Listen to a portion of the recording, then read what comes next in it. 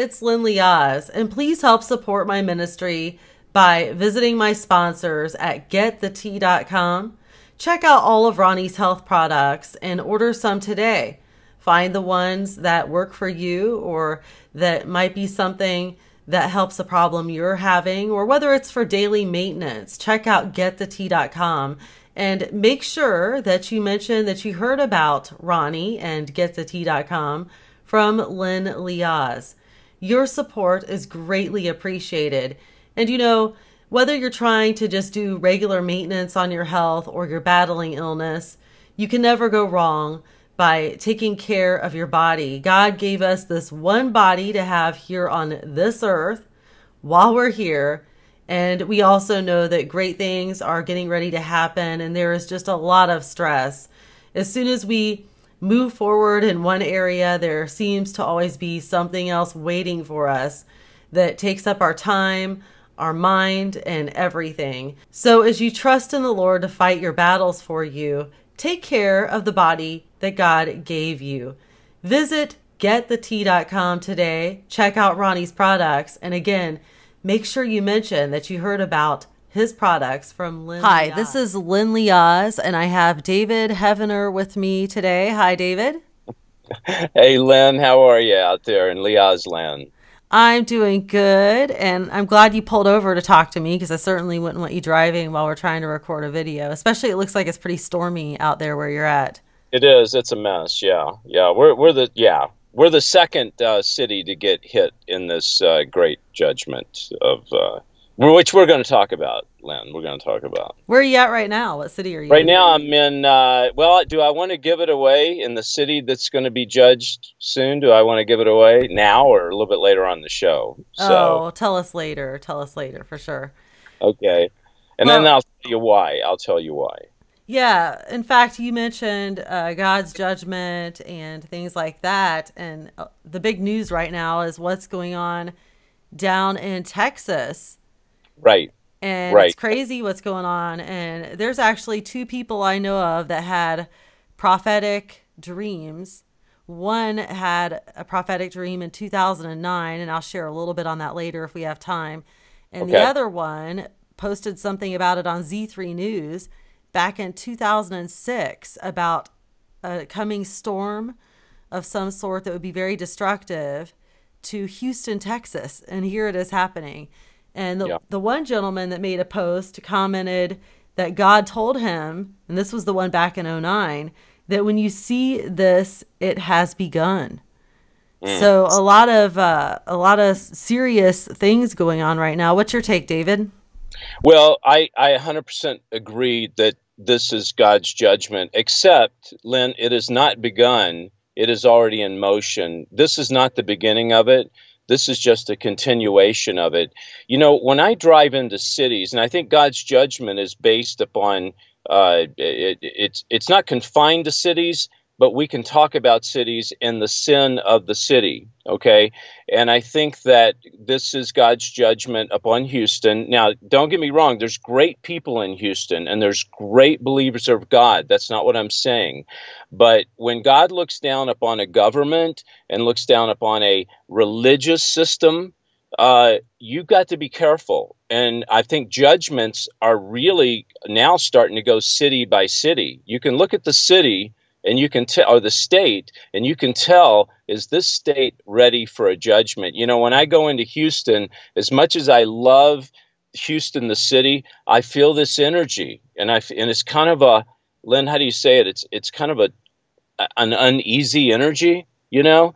And uh, there's some things going on politically in houston that i just question is this god's judgment upon houston yeah, that certainly is interesting. And another note for those of you listening who may have missed it in other recordings I've recently done Corpus Christi actually means body of Christ. Wow. And I'm looking online here at all the damage in Corpus Christi. And I kind of tend to think that God is also sending some sort of a warning to the body of Christ as well. I think things are just going to start happening all over the place, if you want my opinion, at this point. No, they are, and they're happening a lot faster. And it's only because of God's remnant that's holding this thing together, Lynn. In other words, God's chosen, God's few, that's what's holding this whole thing together. Otherwise, it would just collapse and go straight into the pits of hell. And this is a chance for God's remnant to come out and say that one word that's that's rated R. What's that R word, Lynn, that we talk about so much that uh, nobody? Oh, well, let me hold on, hold on. Rated have, R. Wait, wait, don't don't say it. Can we have a like a ticking sound, like a timer? Uh, ding, ding, ding, ding, ding, I really know it. I'm just being being ridiculous. It, it, well, is that it? Ridiculous? No, it's repentance. No. Repentance. Repentance. Repentance. Now's a good time for us to come out and say, you know what? It's time to repent. And you know, but you know, it blows my mind how man looks and goes, Oh, this can't be God's judgment. As a matter of fact, they'll smash Christians down, true believers, for saying, Don't you dare talk about God's judgment. I'm a good person. And, and that's the time we as true believers has to stand up and say, you know what? There ain't nobody that's good. And except for God being in me, I would not be good. But you see, we back off as true believers and we get wimpy and we don't want to stand up to the to the people that go, "Oh, this is not God's judgment. God loves everybody. This is the devil doing this." Well, you know what? You need to read the Bible and see what God has done to a lot of civilizations, you know. Um, I, I think it's going city by city okay uh, there's like i said there's things going on in houston that are underground uh, that's political. Okay, uh, I'm in Atlanta, Georgia, and I think Atlanta is going to suffer some consequences. Why? Because they they asked me to to dress up as Abraham Lincoln on the National Day of Prayer last year and to speak from the courthouse and read the proclamation of eight I think it was 1863 and I read it and it was Abraham Lincoln crying out to the people repent the reason we have the Civil War is we're sinners. We have turned our back on God. Well, just before I went on to read the proclamation, Lynn, do you know what happened? The governor's office handed me an, a different proclamation they wanted me to read. And this proclamation wasn't about repenting, it was about we are a great city. We're going to be even greater. Nobody can come against us, blah, blah, blah. And, and I said to the person that handed it to me, I said, Do you think I'm going to read this? And they kind of looked down and I said, I'm not reading this. This is not this is this is not re- repenting. This is you know something else. So I didn't read it. And you know what? God was real. Now let me tell you why I, I have a feeling about, and I'll speak about Atlanta. Is the governor vetoed a bill that would prevent people, pastors, from marrying gay couples. Okay, he vetoed that, and the reason he did because AMC, as I understand, The Walking Dead they said we're going to pull out of Atlanta unless you yield to the things that we want. Well, guess what they wanted? They want equal rights for everybody. They want uh, they want gays to be able to be married. They want you know it's the same old stuff, you know. And so he yielded to that. And I think eventually there's going to be a judgment. There's going to be uh, a, a price to pay for that, Lynn. Well, just so many grotesque things are going on, such as um, recently uh, there's some show on. I don't have it in front of me, but there's a show that's going to be featured. If it hasn't aired already, it may have. Correct me if you know, David, but it shows Jesus Christ having sex with Mary Magdalene and having sexual intercourse with her. And, you know, it's an AMC drama. That's what reminded me of it because you said AMC. Yeah. And it's just, it's disgusting. We have all this abortion, we have the homosexuality, and not just the homosexuality. Let's look at fornication. Fornication means all sexual sin.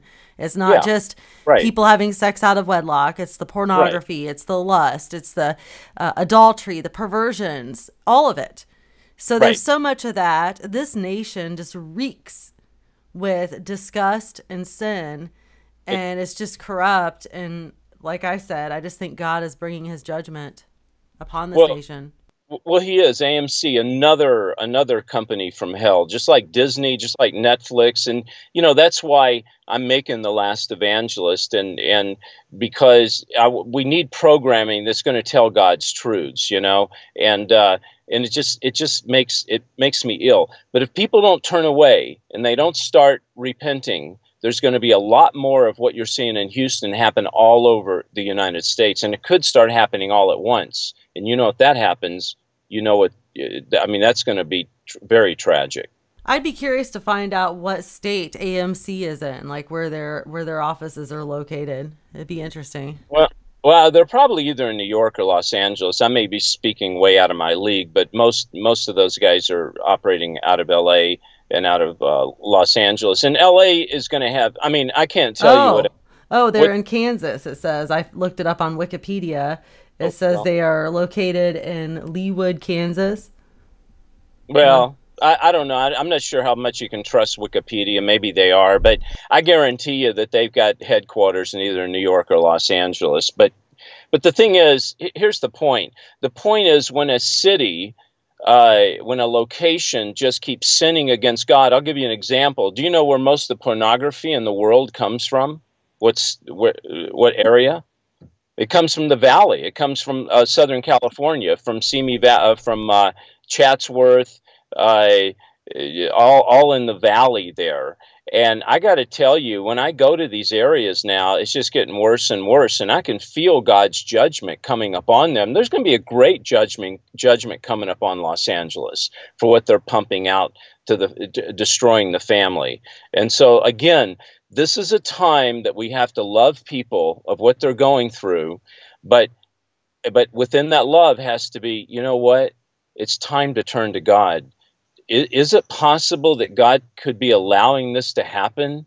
You know, don't you want to turn to God? Even the natives years ago, centuries ago, would look up to heaven and repent when there was a natural disaster. We as men, mankind, you know, we want to try to get into Joel Osteen's building, you know, and try try to run for cover, you know, and uh, and by the way, what's that deal with Joel Osteen, by the way, that I was reading about? Do you have do you have the scoop on that? No, but I can pull it up on the computer. But funny you mentioned because I was just doing a recording with Pastor Benjamin Faircloth yesterday, which I have not uploaded yet.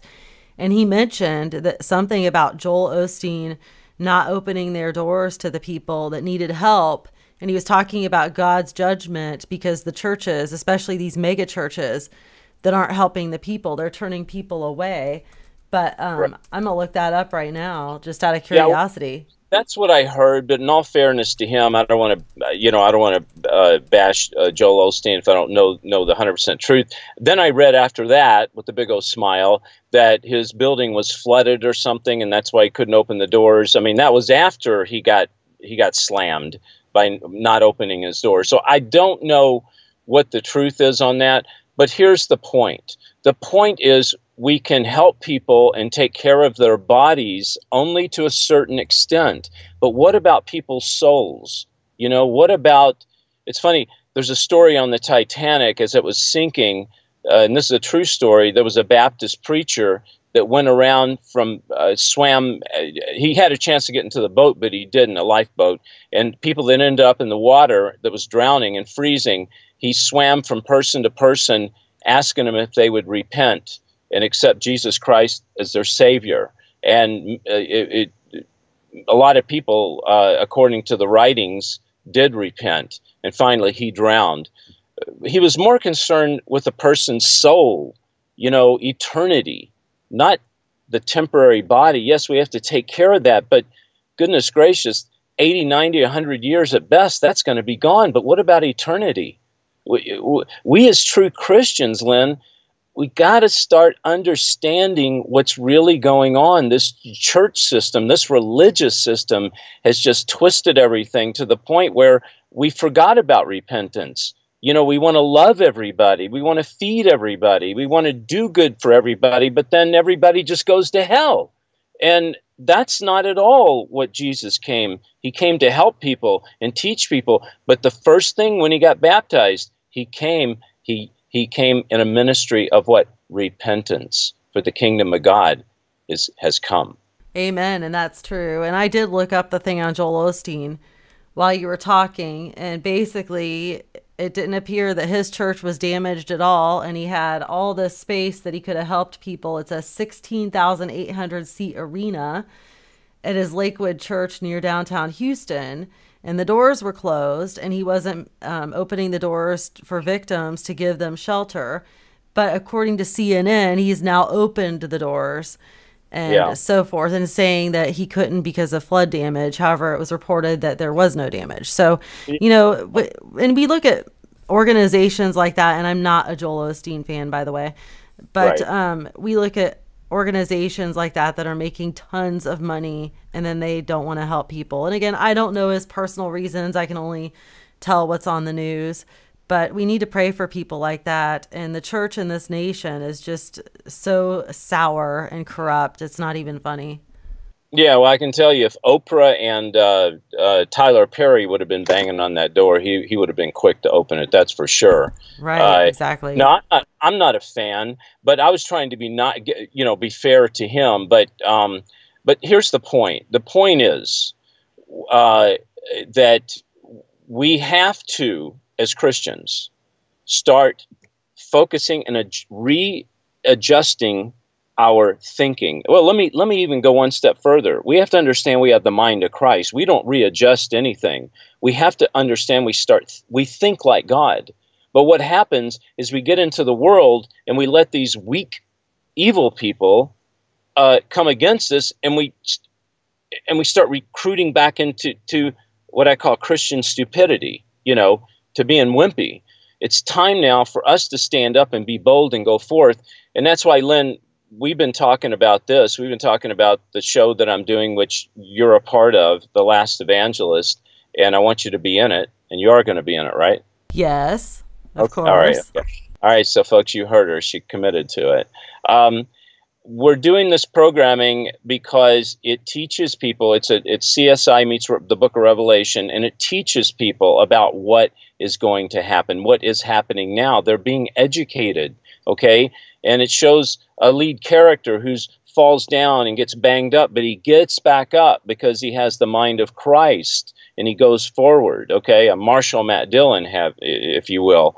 So we need to start having programming like this. We need to start turning off our Netflix. We need to start turning off AMC. We need to start turning off these the, the evil entities that are coming against God. I'm so tired of people slapping God in the face and letting Christians allowing it to happen. Amen, David. And it's true. A lot of Christians don't really stand up for the truth because they are afraid of confrontation or they just have enough sin in their life themselves that they feel like if they say anything, they're going to be a hypocrite or whatnot. I don't know. But right. not enough people are standing up. And it's, it's kind of something that's embarrassing to know that I read an article that there were less homosexuals in this nation who were rallying for uh, gay rights, you know, the gay marriage rights before it got approved in all 50 states. There were less of them than there were people who proclaimed to be Christians. And they got out there and they did their thing and they screamed and yelled and they made a ruckus over what they wanted. And it took them a while, but they finally got their way. Now, if we took all the people who claim to be Christians in this nation and got them out there doing the same thing for what is right, right. I believe that mountains would be moved and we would see demons just fall from the sky on their face. So, oh, absolutely. There's so many believers in Houston uh, and all over the United States that if we as the true believers would just step up, all we need to do is step up to the plate. God will do the rest. But we just need to show up. And if we'll just show up, you'll see the power of God operate in people's lives and you'll see things turn around and you'll see the pits of hell just turn around and run back back into the, the cave you know but we're not doing that and my concern is lynn that but well, let me tell you the story. I was at a party uh, the other night, uh, and there were a lot of Christians there. And one lady said to me, they were talking about uh, uh do uh, feeding people and and going on the street and having ministry and stuff like that. And she got off onto this program that her church was doing, which was feeding the homeless. And she made this comment. She said, "Oh yeah." I'd much rather feed the homeless than try to tell people about Jesus and I was like, what? Did I just hear that? So what's happened, the Bible talks about this, is we're putting the needs of mankind, uh, the physical needs of mankind, above the spiritual needs. Okay. And I think now we need more circuit riders. We need, back in the day, they had these circuit riders back in the 1800s that would ride on a horse from town to town and they would preach repentance. That's that's the pretty much the only thing they would preach. And now we need circuit riders, Lynn. We need preachers to get out of the pulpit that aren't going to start telling the truth, and we need people to get in the pulpit that's willing to tell the truth and take the hits. That's exactly right. That is exactly what we need. But I have a feeling that God's judgment is really beginning, and I think there are going to be people who are going to repent and yes. turn to Christ, but I don't think the body of Christ itself in this nation as a whole is going to repent. And I think that we're just at that point of no return where the judgment's going to come. I think we're in the end times. I think we're going to start seeing the things that the book of Revelation talks about. And yeah. that's just my personal opinion. You know, I haven't had a burning bush experience or anything like that, but that's my personal opinion with what I see going on and with what I feel in my spirit that is going to happen. And before we go on, I want to give out David's website. It is lastevangelist.com. I encourage you to go check him out and subscribe to his newsletter. And if you feel moved to help uh, donate to what he's trying to do, because he's doing this all uh, based on donations, because that's what God has told him to do. He told him to go to the Christians and do this the right way then I encourage you to do that. And you can find out how to do that on his website. I think you have a donate button, don't you, David? I do. And if they donate, they get certain things uh, from t shirts to walk on part to, you know, so you get things if, if you want, you know. Yeah. Yeah, yeah. So so please check him out, subscribe to his newsletter. Above all else, pray for him and for what he's doing. And also, if the Lord moves you to give to uh, the Lyn Leahz Ministry, um, most of you know, but for those of you who don't, I'll mention it again. Uh, YouTube has demonetized most all of my videos, and they've done it to other Christian channels too. I'm not the only one. And so I need your support to continue doing what I'm doing. So if God moves you to, to give something, I have a PayPal. It is uh, Lyn Leahz at freedomnationnews.com, and that is L Y N L E A H Z. The link will be below this video. It'll be uh, hyperlinked, so you can click on it. And if you don't do PayPal, um, I do have a P.O. box, and the address for that will be posted below this video as well as on the screen here. Um, it's Lyn Leahz Ministries. You can send a check or money order. And I don't mean to sound like I'm begging for money because I'm not trying to do that. Just if, if God moves you to give something to help my ministry out, that's awesome. If He just moves you to pray, please pray. I need the prayers. We all do during these times. So, just a quick mention there and a reminder for all of you out there listening any help or support you can give David or myself is greatly greatly appreciated.